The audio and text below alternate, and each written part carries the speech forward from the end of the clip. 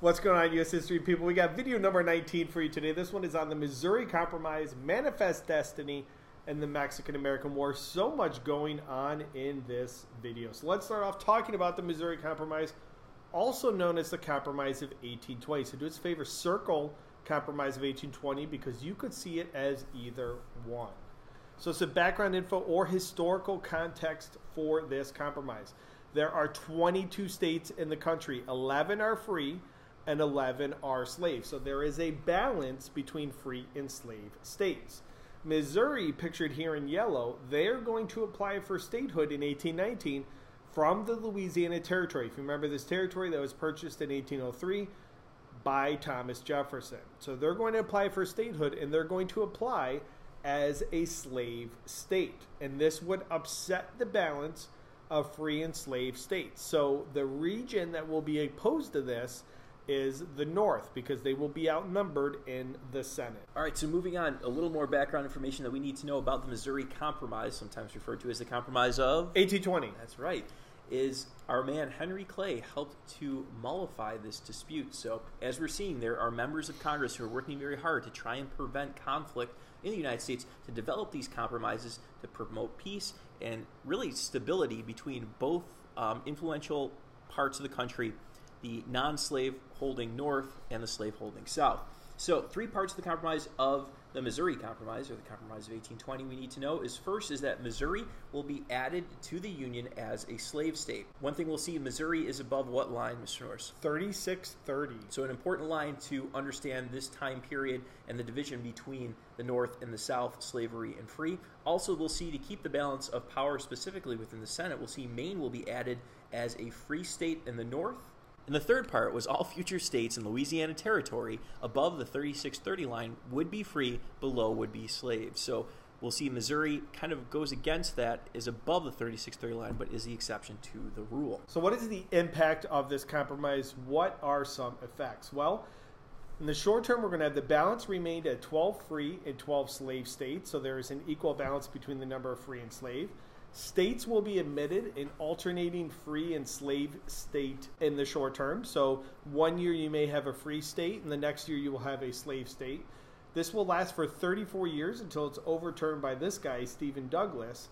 And the big thing to think about for this unit, as the U.S. expands beyond the Louisiana Territory, slavery will become the number one issue. It is by far the number one issue, and it is tearing the country apart and new compromises in court cases would attempt to address this issue of slavery, and ultimately all of them will fail because we will have the Civil War in 1861.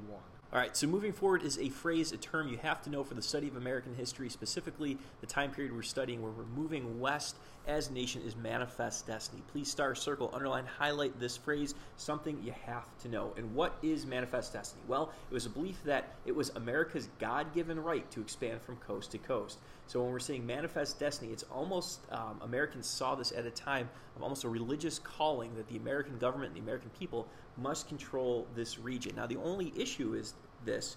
Mr. Norris, is this land completely open? No, it's not. There, some of the land belonged to Mexico, and Native Americans were living on a lot of this land too. So as we move west, we're going to see this is going to cause conflict at times. So what do we need to know? Where did this term come from? Well, it was created by a guy by the name of John O'Sullivan. You see a picture of him in the top right here. He's the one who really develops this term, and it becomes popular around this time period. So, what time period are we associating with this? We have to understand it's the 1840s through the 1850s, our pre Civil War kind of antebellum time period, and roots are in the Louisiana Purchase. So, again, as the United States purchased that huge chunk of land that, that doubles the size of the country, the question becomes what do we do with that land? And Americans want to move west. So, some key things to associate with Manifest Destiny think of the development of Texas as a state, and eventually the Mexican American War will come about which will help to add more territory into the what we consider the continental United States. So jumping over to Texas, we have this dude pictured here, Santa Anna. He was the leader of Mexico something like a dozen different times, and Texas will break away from Mexico under his leadership. So in 1836, Texas will declare independence from Mexico, and in 1844, the presidential campaign in the U.S. focused on Texas. The Democrat James K. Polk was all about annexing Texas. In 1845, shortly before James K. Polk becomes president, under the current president, John Tyler, Texas was annexed by the United States. And the boundary was not settled between the U.S. and Mexico. So there were conflicting claims between the U.S. and Mexico over the Texas boundary. And this will help lead to the Mexican American War. So, as the title said, this is a war between the country of Mexico and the United States of America. And some causes we need to know, obviously, as Mr. Norris already talked about, is Texas is going to be a huge issue here. So if we look at this map, Mr. Norris, you want to explain what's going on here? Yeah, so this is the Louisiana Territory in green. This is what Texas originally claimed as its territory. You can see it's a lot bigger than the present day boundaries. And then over here, from California over to New Mexico and Arizona, this is the Mexican cession, which the U.S. will gain after the Mexican American War. So, this Texas boundary issue is because of this area right here, especially down here in southern Texas. Mexico claimed this area of land right there. So, as Mr. Norris just pointed out in that map, geography, very important, one of the causes of war between the United States and Mexico over the issue of land and claiming certain areas. So, Texas boundary, very important this phrase American blood on American soil. Mr. Norris, you want to explain more about this as well? Yeah, so James K. Polk claimed that American blood was spilled on American soil when they were attacked by Mexican troops, but that land was on the contested territory. So although American soldiers did die, there is a question as to whether or not it actually belonged to the United States. Some people, such as Abraham Lincoln, argue that it did not belong to the United States and it was not on American soil.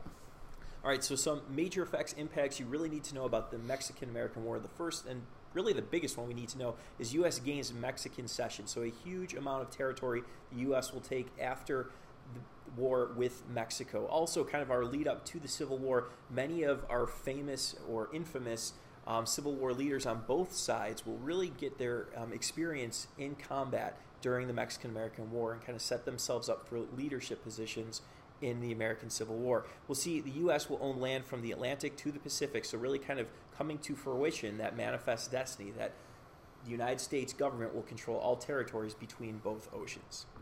And third, we have debates over whether this land would be free or slave. So this continual debate going from the very beginning of this course is as the United States continues to expand west, takes more territory, the question becomes, will that territory be free or slave? And depending on which direction the United States goes, will shift the balance of power within the federal government.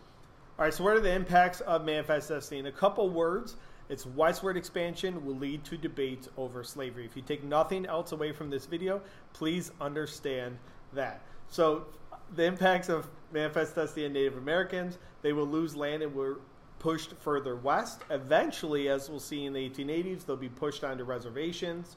The issue of slavery will be the number one issue prior to the Civil War, and the debate over whether land should be free or slave.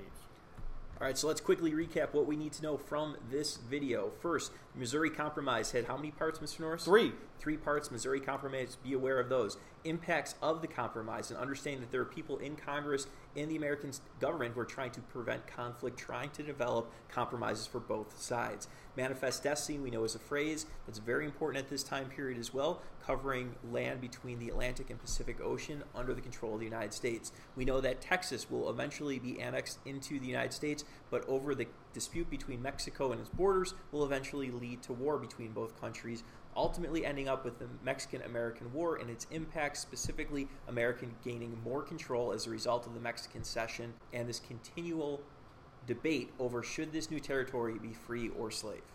All right, guys, thanks for watching. Look forward to see you back for video number 20 more conflicts prior to the Civil War. Thanks for watching. Best of luck, and have a good day.